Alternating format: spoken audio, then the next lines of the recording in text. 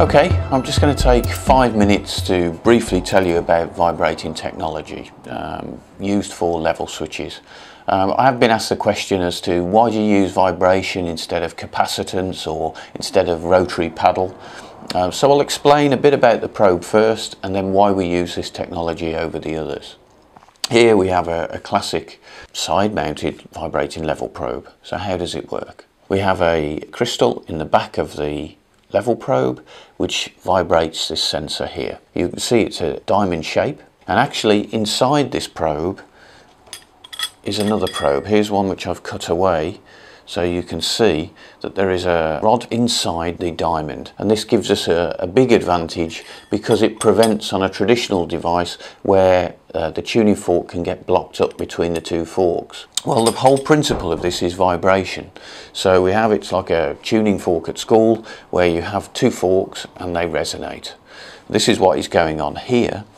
Now this uh, unique design vibrates uh, horizontally backwards and forwards gives a very, very uh, sensitive uh, measurement. So when this is surrounded by product, the vibration is affected and the frequency shifts so the unit can then detect that going on in the electronics.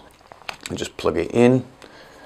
You can possibly hear that vibrating there. And then if I just gently touch the end, we get switched output.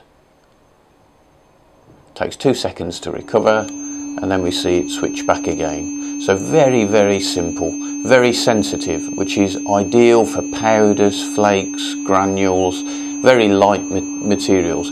Flour, cement are typical um, because a good advantage here, they're very, very sensitive on the tip, which that's now switched. But if this was mounted through the side of a silo, you can hold it and get a big build up here, but it won't make the product switch at all. So it's a good advantage. Now they're not just mounted in this orientation. I'll switch that off. Uh, we have lots of different versions. We do a cable version which can be mounted from the top of your silo and these can extend up to about 20 meters. The loading on here, because it's all sealed in top and bottom, you can put a loading of about one ton. If you're using it for a high level alarm, these can be mounted into your silo, coiled up and then cable clipped. The technology operates on very light, fluffy products, products down to 20 grams per litre. But there is another reason why we use these in our safety systems. Reliability is critical, but also the ability to ground level test. So what that is to do with, we can, at the bottom of our silo, when we do a, a ground level test, we can check that the probe is working. And what we do is we actually stop the inner probe from oscillating and vibrating. Now let's uh, look at a typical application, for example on cement. What's the most popular uh, device? We could use a paddle switch. These are abundant in the cement industry predominantly because they are the cheapest device available. They are the lowest cost product, but there are some drawbacks. Firstly, you have a motor in here to rotate this paddle around. That's how this uh, sensor works which can wear out. You have a blade which can wear out.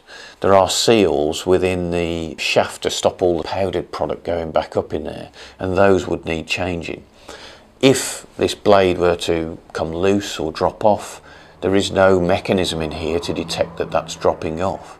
Now, these products range from $200 to about $800. Some of them now have a basic form of test, but one of the problems associated with this product is as they rotate into a light product, you'll find uh, that they can actually dig a hole so they become less sensitive. Now let's compare that with capacitance. They operate on dielectric.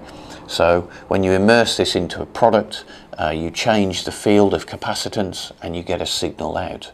The only problem with this probe is that you do have to immerse it into the product to get the most accurate setting. Adjust the sensitivity, remove it, make sure it switches off, put it back into the product, make sure it switches on. That's typically how you set up a capacitance probe. Um, that isn't always uh, practical and just involves another step which is why we use vibration. Another possible problem with some types of capacitance probe is that they measure dielectric and some products such as fly ash have a low dielectric which will make using these sensors very difficult for that. So if we're looking for a reliable level switch uh, for a high level alarm in typical safety applications like overfill, overspill prevention or for use on a silo protection application, we choose vibration. Why do we choose vibration? There is no maintenance to do. There are no moving parts in the technology. It's unaffected by changes in dielectric which you might experience on products such as cement. There's no calibration to carry out on the instrument like on capacitance, you just drop it into your product and it works fine. It has a self-cleaning effect, so a lot of the dust build-up, product build-up by the vibration, uh, vibrating effect of the probe cleans this every time. And of course, for a critical safety application, it is fail-safe. Okay, that was just a quick five minute summary. Hope it's been useful. If you've got any questions, please call the office 01527 406 800 or just have a look on the website www.hycontrol.com. Thanks for listening.